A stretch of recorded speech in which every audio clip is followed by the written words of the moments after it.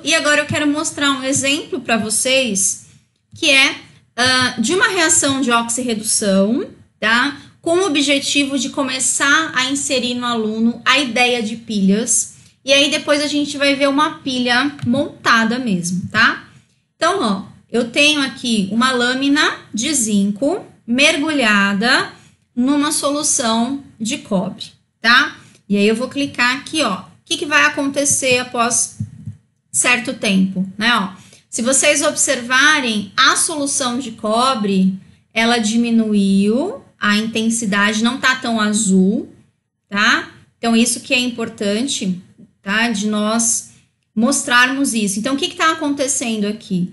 O cobre que está na solução, ele sofre redução, né? E o zinco sofre oxidação. Então, a gente mostra que a deposição, tá bom? De cobre em cima da, da plaquinha de zinco e a solução de cobre, ela ficou mais clara, tá? Então, esse é o objetivo de estar tá mostrando aqui. E agora a gente vai ver como, né, é, que nós fizemos essa animação, tá? Então, vou clicar aqui para vocês, para que vocês possam estar tá observando isso, tá? Como que essa animação foi feita.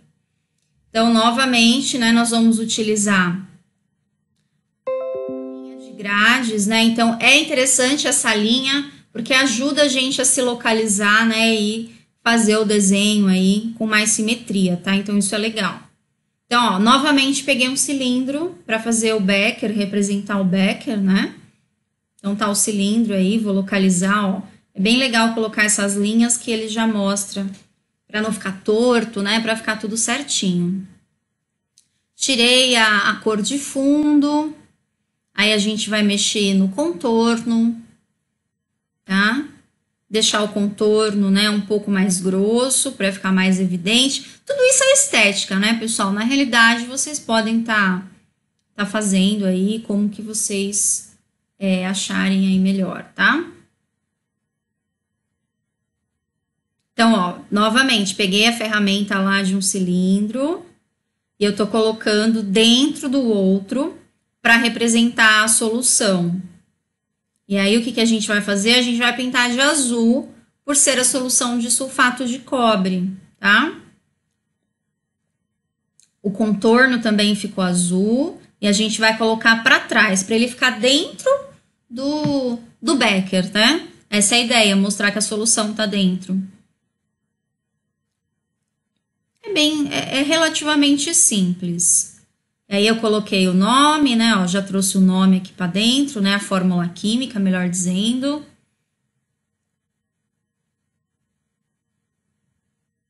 É, aí nós pegamos a outra, né? O outro item para estar tá fazendo a lâmina de zinco. Então, de novo, a gente vai mudar a cor, né? O preenchimento. Então, deixei um preenchimento aí mais cinza para representar a, a, coloração de verdade aí do, do zinco, tá? A plaquinha aí meio inclinada, tá?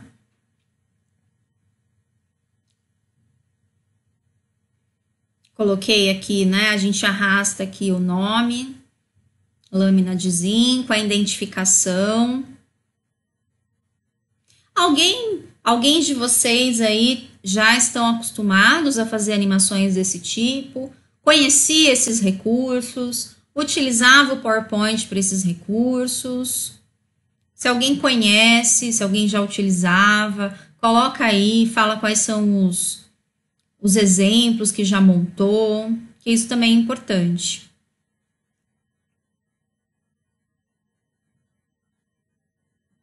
Então, a gente tem que representar depois que, os, que o cobre sofreu redução, né? Ficou depositado na, na lâmina de, de zinco.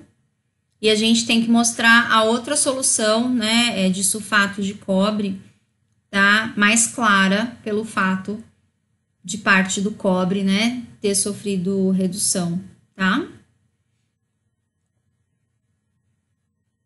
Tem muita coisa que a gente consegue estar tá fazendo aqui tá? Que acaba sendo bastante interessante tá? De utilizar essa, essa ferramenta, né? E eu, o que eu, que eu acho, assim, muitas vezes que, que é interessante é que a gente, às vezes, tem o programa, a gente tem é, o recurso, mas às vezes a gente não, não conhece tanto, né? A gente, às vezes, não, nunca explorou tanto e, às vezes, não tem ideia do que, que a gente pode fazer com os recursos que a gente tem, né?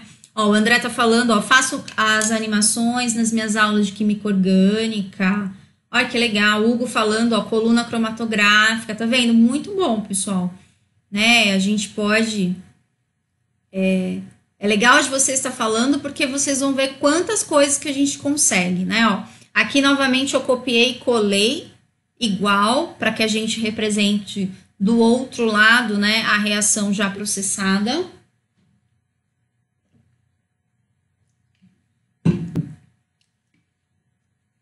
vai muito da criatividade de cada um, né? Eu acho que é aprender a ver, ver os recursos que oferecem, aí conforme a gente vai a gente vai trabalhando, que a gente vai montando, a gente vai conseguindo aí explorar.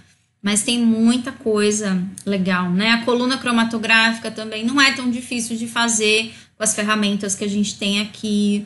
Esse programa que eu coloquei para vocês para desenhar estruturas orgânicas, ele também tem desenho de vidrarias de laboratório, de colunas, então também dá para extrair bastante coisa dele e dá para trazer para o PowerPoint. Então isso é bem legal. Então a gente precisa, né, ó, tá clicado ali no animação, a gente precisa colocar a solução, né? Ou melhor, a gente precisa colocar o cobre depositado nessa lâmina de, de zinco, tá? Então, e deixar essa solução também mais clarinha, ó.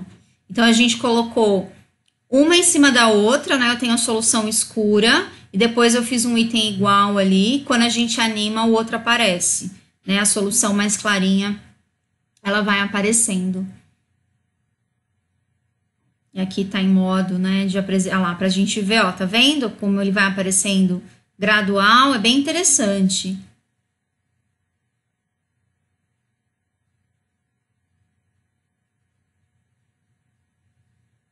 E aí vamos colocando, ó, tem a canetinha, essa canetinha a gente consegue desenhar, tá vendo?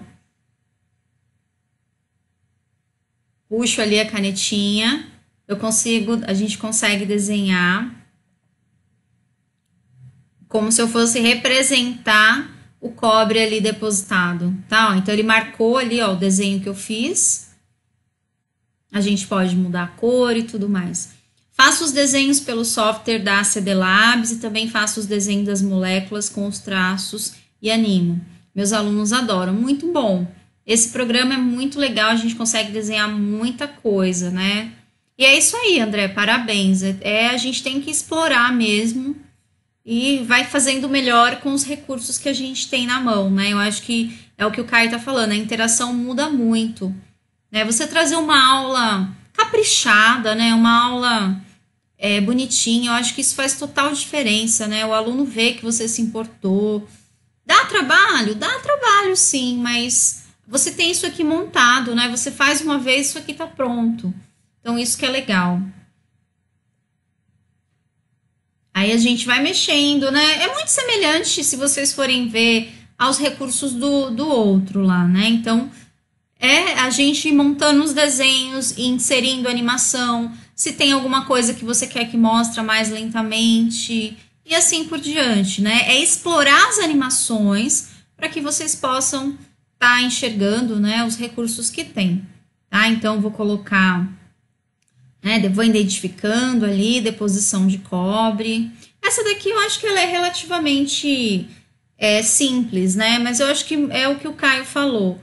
Muda, mu muda muito a qualidade da aula e a gente precisa utilizar esses recursos, uh, porque o que acontece é que nossa a gente trata de fenômenos que são abstratos, né? Que o aluno não consegue estar tá vendo, e, e tudo mais, né? Então acaba sendo difícil, né?